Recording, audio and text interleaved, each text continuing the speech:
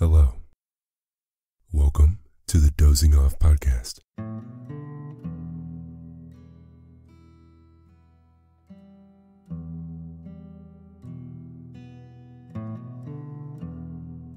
I'm your host and narrator, Lance Lewis, and this is a podcast where I read you to sleep.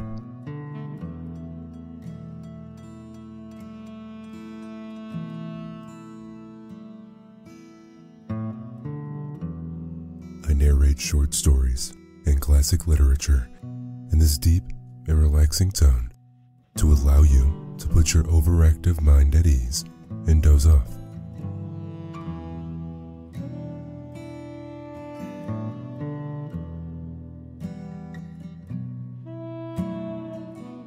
We've really been on the fairy tale kick lately. Tonight, I narrated Rapunzel. This book is The Retold Story by Paul O. Zelinsky.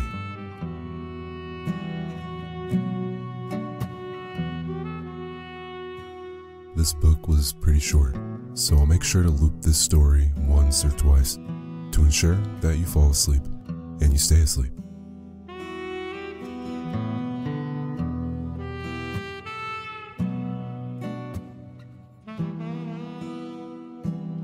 As always, if you're part of the Dozing Off community, whether this is your first time listening or you're an avid listener, I appreciate you immensely.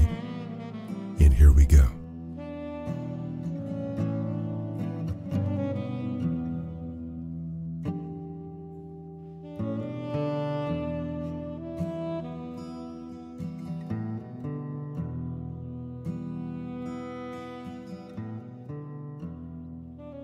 Rapunzel.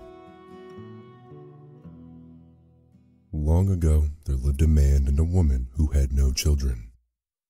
As year followed year, this was their only sorrow. Then one spring, the wife felt her dress growing tight around her waist. Joyfully, she said to her husband, We are going to have a child at last. The wife liked to sit by a small window at the back of their house and look down into a beautiful garden. Flowers grew there, and rare fruits and herbs of every kind. The garden belonged to a sorceress who had enclosed it on all sides with a high wall. No one ever dared to enter it. One day, as the wife sat by the window, her eyes fixed on a bed of Rapunzel.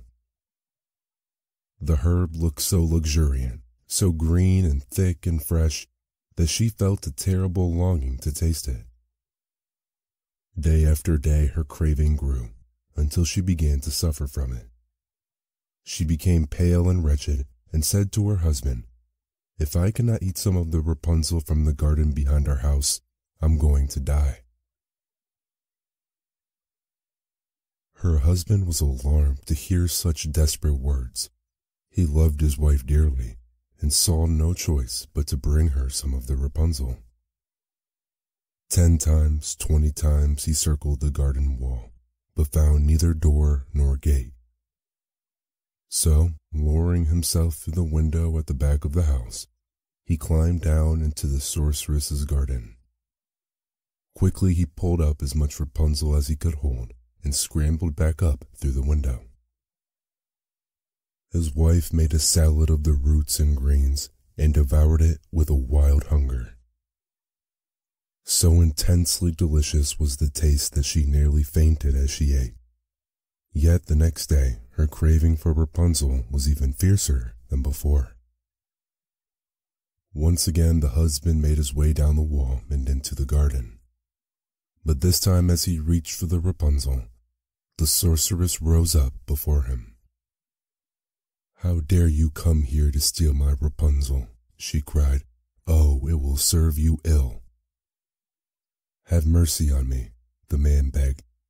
My wife is carrying our child. She has seen your Rapunzel from our window and conceived such a longing for it that she will die unless she can eat some. What am I to do? The sorceress considered his words. If what you say is true, you may take the Rapunzel that you need, but in return, you must give me the child your wife will bear. The frightened husband did not know what to say. Rather than see his wife die, he agreed to the demand. And when the child was born, the sorceress appeared in the room. She named the baby girl Rapunzel and carried her away. The sorceress cared for the baby, seeing to her every need. Rapunzel grew to be a child of rare beauty, with pale skin and an abundance of flowing red gold hair. When she reached the age of twelve, the sorceress led her into the forest to live in a high tower. The tower was a great column rising in the middle of the woods. Although it looked narrow on the outside, on the inside it was large, with many elegant rooms.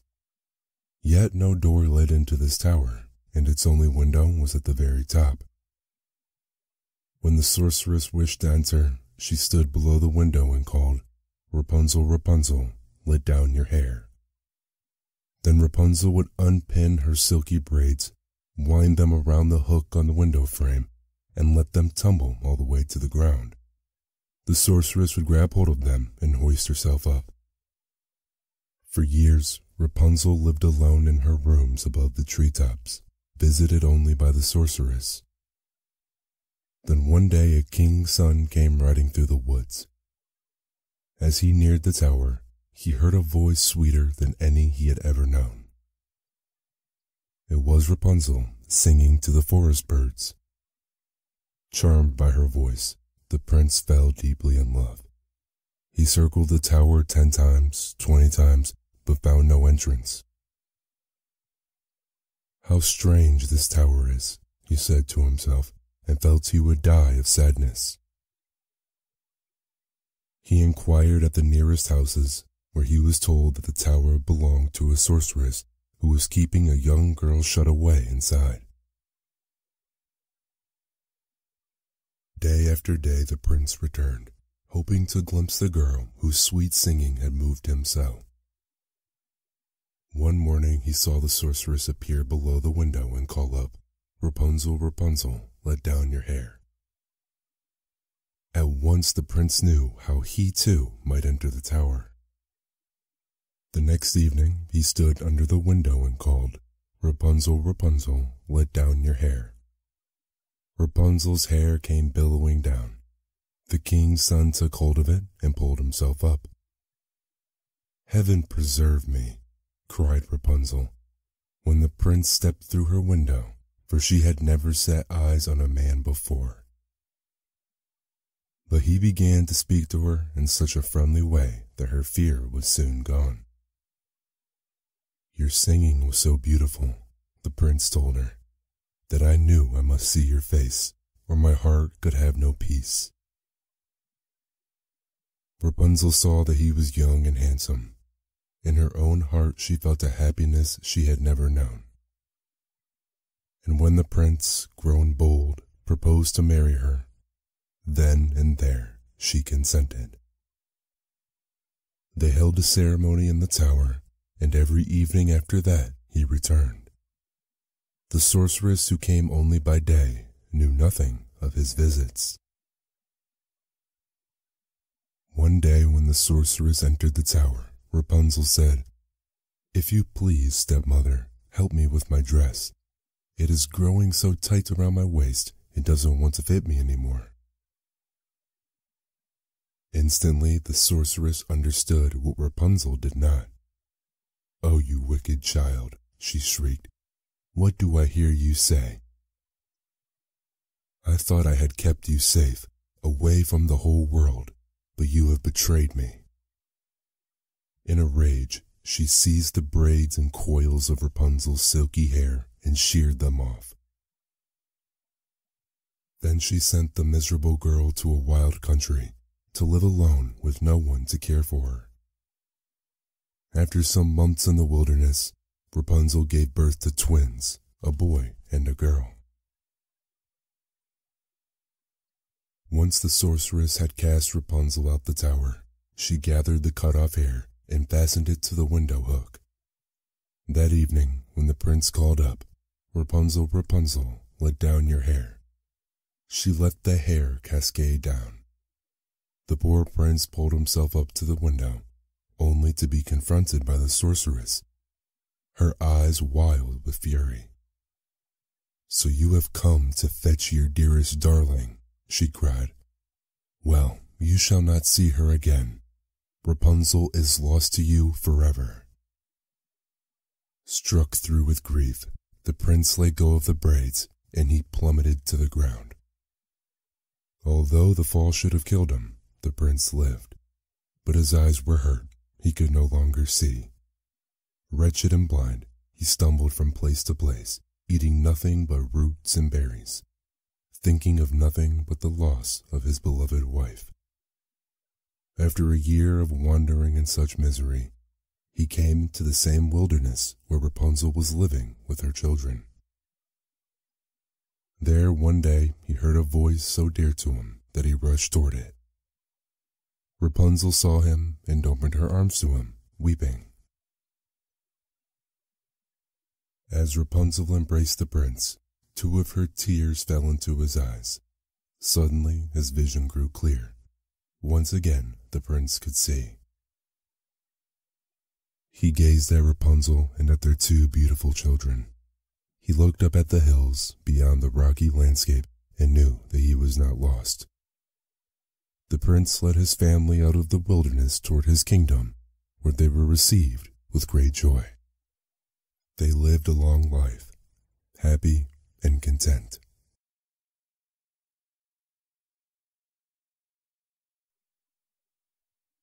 Rapunzel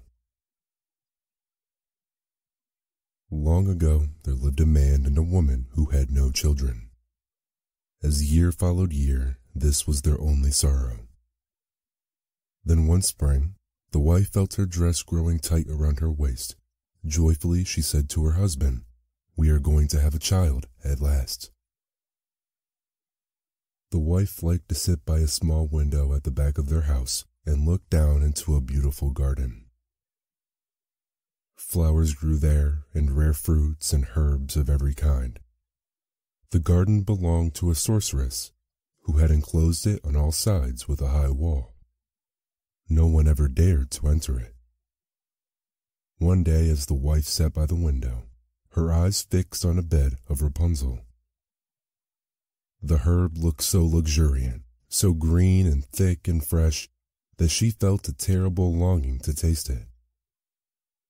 Day after day, her craving grew until she began to suffer from it. She became pale and wretched and said to her husband, If I cannot eat some of the Rapunzel from the garden behind our house, I'm going to die. Her husband was alarmed to hear such desperate words. He loved his wife dearly and saw no choice but to bring her some of the Rapunzel. Ten times, twenty times he circled the garden wall, but found neither door nor gate. So, lowering himself through the window at the back of the house, he climbed down into the sorceress's garden. Quickly he pulled up as much Rapunzel as he could hold and scrambled back up through the window. His wife made a salad of the roots and greens and devoured it with a wild hunger. So intensely delicious was the taste that she nearly fainted as she ate. Yet the next day, her craving for Rapunzel was even fiercer than before. Once again, the husband made his way down the wall and into the garden. But this time, as he reached for the Rapunzel, the sorceress rose up before him. How dare you come here to steal my Rapunzel? she cried. Oh, it will serve you ill. Have mercy on me, the man begged. My wife is carrying our child. She has seen your Rapunzel from our window and conceived such a longing for it that she will die unless she can eat some. What am I to do? The sorceress considered his words. If what you say is true, you may take the Rapunzel that you need, but in return, you must give me the child your wife will bear. The frightened husband did not know what to say. Rather than see his wife die, he agreed to the demand. And when the child was born, the sorceress appeared in the room. She named the baby girl Rapunzel and carried her away. The sorceress cared for the baby, seeing to her every need.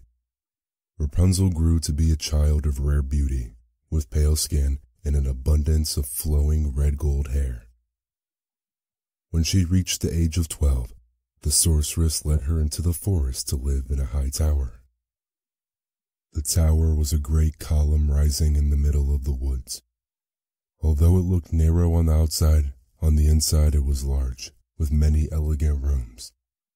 Yet no door led into this tower, and its only window was at the very top. When the sorceress wished to enter, she stood below the window and called, Rapunzel, Rapunzel, let down your hair. Then Rapunzel would unpin her silky braids, wind them around the hook on the window frame, and let them tumble all the way to the ground. The sorceress would grab hold of them and hoist herself up. For years, Rapunzel lived alone in her rooms above the treetops, visited only by the sorceress. Then one day a king's son came riding through the woods. As he neared the tower, he heard a voice sweeter than any he had ever known. It was Rapunzel singing to the forest birds. Charmed by her voice, the prince fell deeply in love. He circled the tower ten times, twenty times, but found no entrance. How strange this tower is, he said to himself, and felt he would die of sadness. He inquired at the nearest houses where he was told that the tower belonged to a sorceress who was keeping a young girl shut away inside. Day after day the prince returned, hoping to glimpse the girl whose sweet singing had moved him so. One morning he saw the sorceress appear below the window and call up, Rapunzel, Rapunzel, let down your hair.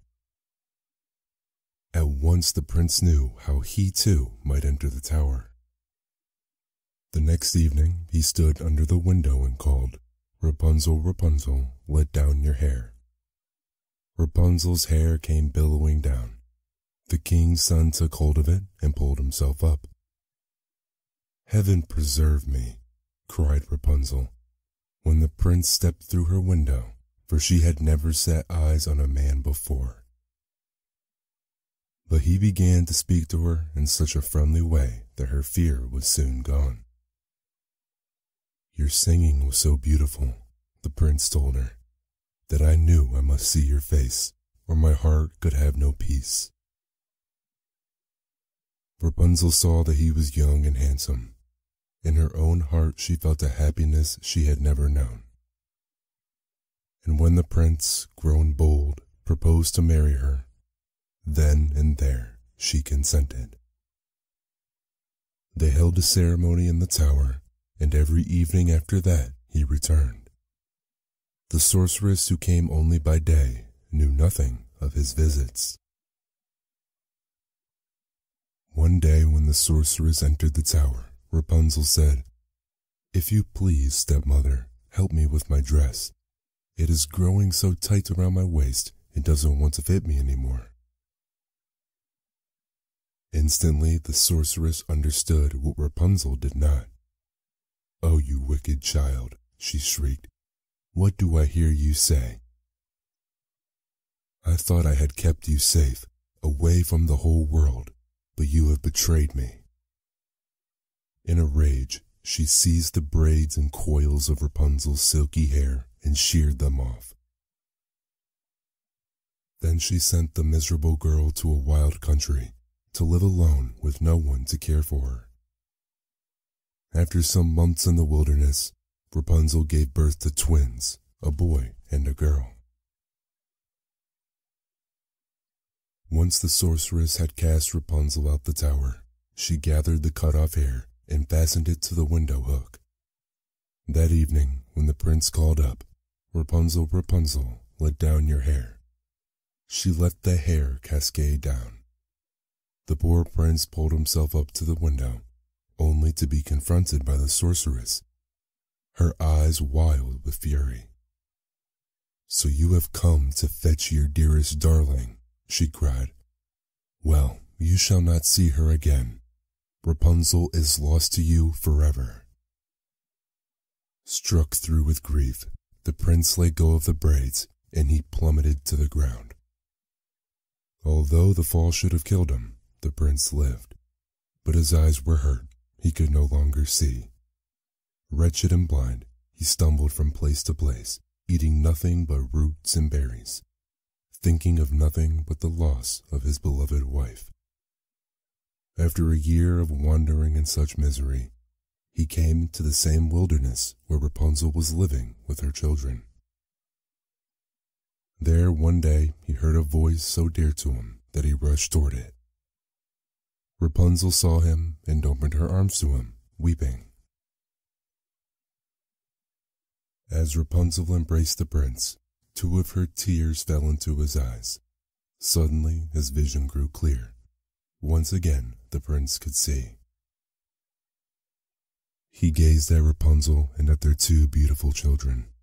He looked up at the hills beyond the rocky landscape and knew that he was not lost.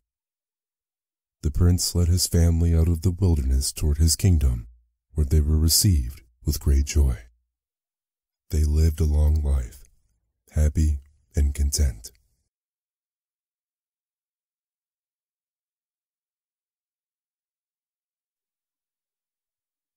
Rapunzel Long ago there lived a man and a woman who had no children. As year followed year, this was their only sorrow. Then one spring, the wife felt her dress growing tight around her waist. Joyfully she said to her husband, We are going to have a child at last. The wife liked to sit by a small window at the back of their house and look down into a beautiful garden. Flowers grew there, and rare fruits and herbs of every kind. The garden belonged to a sorceress who had enclosed it on all sides with a high wall. No one ever dared to enter it. One day, as the wife sat by the window, her eyes fixed on a bed of Rapunzel. The herb looked so luxuriant, so green and thick and fresh, that she felt a terrible longing to taste it. Day after day her craving grew, until she began to suffer from it. She became pale and wretched, and said to her husband, If I cannot eat some of the Rapunzel from the garden behind our house, I'm going to die. Her husband was alarmed to hear such desperate words. He loved his wife dearly and saw no choice but to bring her some of the Rapunzel. Ten times, twenty times he circled the garden wall, but found neither door nor gate. So, lowering himself through the window at the back of the house, he climbed down into the sorceress's garden. Quickly he pulled up as much Rapunzel as he could hold and scrambled back up through the window. His wife made a salad of the roots and greens and devoured it with a wild hunger. So intensely delicious was the taste that she nearly fainted as she ate. Yet the next day, her craving for Rapunzel was even fiercer than before. Once again, the husband made his way down the wall and into the garden. But this time, as he reached for the Rapunzel, the sorceress rose up before him. How dare you come here to steal my Rapunzel? she cried. Oh, it will serve you ill. Have mercy on me, the man begged. My wife is carrying our child. She has seen your Rapunzel from our window and conceived such a longing for it that she will die unless she can eat some. What am I to do? The sorceress considered his words. If what you say is true, you may take the Rapunzel that you need, but in return, you must give me the child your wife will bear. The frightened husband did not know what to say. Rather than see his wife die, he agreed to the demand. And when the child was born, the sorceress appeared in the room. She named the baby girl Rapunzel and carried her away. The sorceress cared for the baby, seeing to her every need. Rapunzel grew to be a child of rare beauty, with pale skin and an abundance of flowing red gold hair. When she reached the age of twelve, the sorceress led her into the forest to live in a high tower. The tower was a great column rising in the middle of the woods. Although it looked narrow on the outside, on the inside it was large, with many elegant rooms. Yet no door led into this tower, and its only window was at the very top. When the sorceress wished to enter, she stood below the window and called, Rapunzel, Rapunzel, let down your hair. Then Rapunzel would unpin her silky braids, wind them around the hook on the window frame, and let them tumble all the way to the ground. The sorceress would grab hold of them and hoist herself up. For years, Rapunzel lived alone in her rooms above the treetops, visited only by the sorceress. Then one day a king's son came riding through the woods. As he neared the tower, he heard a voice sweeter than any he had ever known. It was Rapunzel singing to the forest birds. Charmed by her voice, the prince fell deeply in love. He circled the tower ten times, twenty times, but found no entrance. How strange this tower is, he said to himself, and felt he would die of sadness. He inquired at the nearest houses, where he was told that the tower belonged to a sorceress who was keeping a young girl shut away inside. Day after day the prince returned, hoping to glimpse the girl whose sweet singing had moved him so. One morning he saw the sorceress appear below the window and call up, Rapunzel, Rapunzel, let down your hair. At once the prince knew how he too might enter the tower. The next evening he stood under the window and called, Rapunzel, Rapunzel, let down your hair. Rapunzel's hair came billowing down. The king's son took hold of it and pulled himself up. Heaven preserve me, cried Rapunzel, when the prince stepped through her window, for she had never set eyes on a man before. But he began to speak to her in such a friendly way that her fear was soon gone. Your singing was so beautiful, the prince told her that I knew I must see your face, or my heart could have no peace. Rapunzel saw that he was young and handsome. In her own heart she felt a happiness she had never known.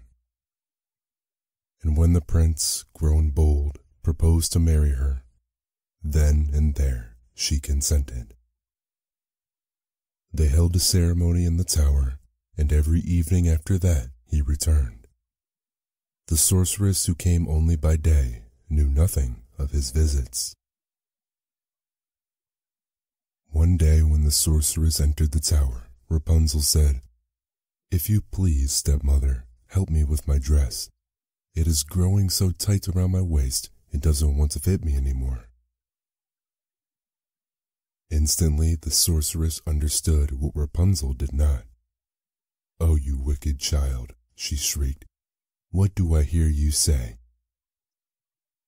I thought I had kept you safe, away from the whole world, but you have betrayed me.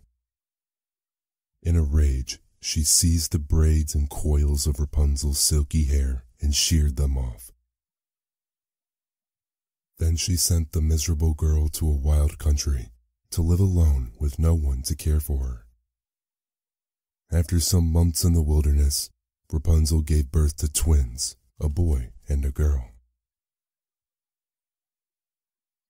Once the sorceress had cast Rapunzel out the tower, she gathered the cut off hair and fastened it to the window hook. That evening, when the prince called up, Rapunzel, Rapunzel, let down your hair. She let the hair cascade down.